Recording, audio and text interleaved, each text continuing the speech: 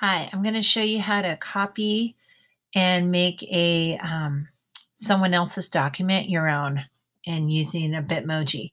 So this is, um, of course, this is my course outline, but let's just pretend it's not. So um, when you open it, it will say view only, and you're going to go over here to file,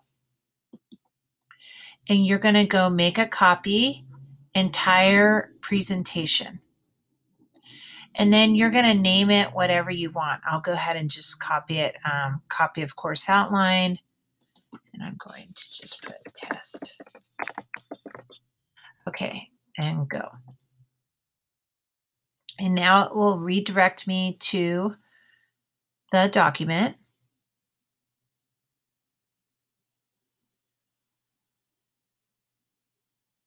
So now this is my own document and you will want to call this whatever you want. You can change it up here, the title. So let's say you are not a PE teacher and of course you don't work at my school. So you can just click on here, up here, and you can just go and change the name of your school. So I'll just put middle school. If you want to change the color, you go up here to the text color and you can change any of the colors. There's ways to make them your own colors. You can look into that. Um, over here, if you want to make this a different background, so I believe, so you're going to go to choose image, and then you're going to go to Google image search search. Uh, commonly, people look up um, transparent. Anything that I add to a Bitmoji, I'm going to put transparent. So um, I believe they call it floor. Yeah, okay. So if you want like a room or something in particular, you're going, it's floor wall.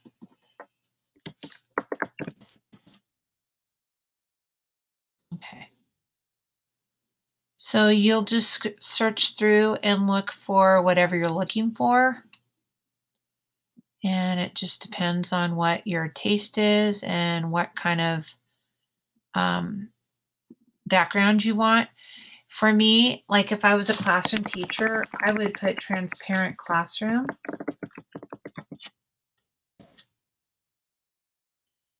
And I would pick this. So let's just say, for instance, if I wanted to do that, you're going to press insert. Done. And so it just changed my background. So I would just click on each item to remove it. I can get rid of these basketballs.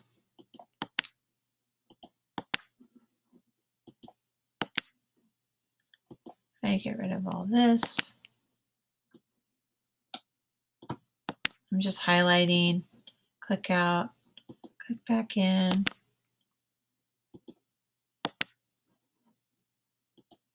And you may not want this anymore. So now, and you got to get rid of the text. So I guess we didn't need to change that. That's if you stay outside. Okay, so now what you'll do is you'll build in here however you want to do it. I'm just doing this random, but you will do this for every page if you like the content that I have. So on page two, I have a map to the course outline. So maybe you'll want to keep this and you can make this um, your own whiteboard. So you would just go into insert image, search the web, excuse me, You would change the background to whatever you want. And I'm going to go transparent whiteboard.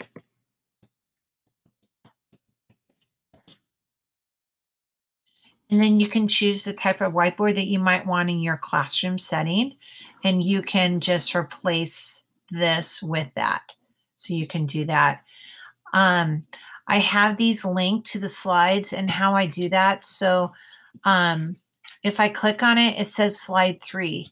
So how I do that is I highlight the box, I go to insert, and I go to link. And here it says like slide three. So you can either put in a real link or you can choose from the slides. Because I already have it, um, it's already connected. So I can show you how I do that. I also have a home button so they can click on the home and we'll take you back to slide two. I did the same thing. I did insert and it says slides from this presentation and I did that so I can show you here. So let's pretend that that's my home button so that way you can see it. I'll do link. So you have to highlight whatever you want. Do you see how it says slides in this presentation? I mean, um. And then you can put what number slide. So it's slide two. So I would put uh, slide two there. And that's right there. So I would hit that and then it will link it. And this is just, and I'll put apply.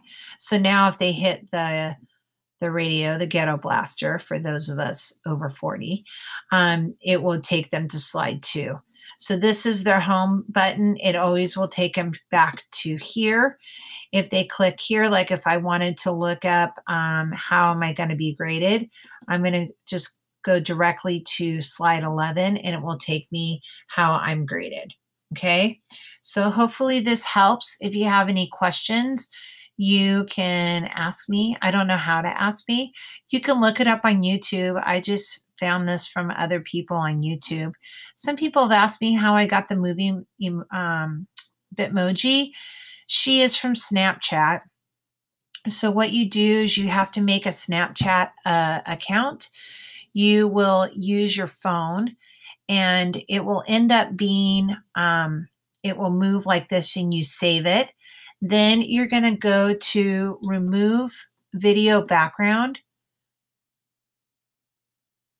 And this is just a, um, um, it's unscreen.com. You're going to put your clip in there and then you'll remove the background and that will make it a moving GIF. So um, on pictures, if you need to remove a background, like if you were using a Bitmoji from your phone, you need to remove that background. I'll show you how to uh, do Bitmoji too. Uh, you do re remove background, so it's um, remove BG, and that will remove a background on a still picture. And this is to unscreen is to remove a background on a moving picture. All right, so let me go back to um, my course outline. Did I lose it? Oh yes, let me just go back. All right, how do you add your Bitmoji onto here? So let me go back to the classroom I made for you. Hope I'm not jumping around too much. I want this to be quick. Just a quickie, quickie. Okay, so let's go to the classroom and I want to put my Bitmoji. So you do have to have a Bitmoji account from your phone and then you get the extension from Google Extensions. Just type in um, in Google, do extensions if you don't know how. That's what this whole line is. They're all extensions. Also learn that on YouTube. So um, you're going to go to your Bitmoji now, if you want her sitting or studying, you can also see what's been used recently. I found some that I couldn't find just by searching. If you want to pose, you can type in pose. And then she's just has um, no words with her. You can edit words out. And I'm wondering if I can get one of her sitting somewhere. So let's see. Standing. Yeah, so um, I don't remember. I already have one. So there she is. This one's commonly used in a chair, and then you can set a little laptop on her lap. So what you can do, you can either click on her and you can drag her to a chair or drag her to the um, picture, and you see she's transparent. So she can sit here. You'll want to make her bigger. So I'm just dragging the sides to make her bigger. And I'm going to get her bottom down. Do you like how I referred to her, even though it looks like me, kind of? Okay, so we're good there. Now, if you wanted to add a computer here, again, it's the same thing for every time. You're just going to go to Insert over here. You're going to go Image, search the web, you're going to put transparent. Let's do um, transparent laptop.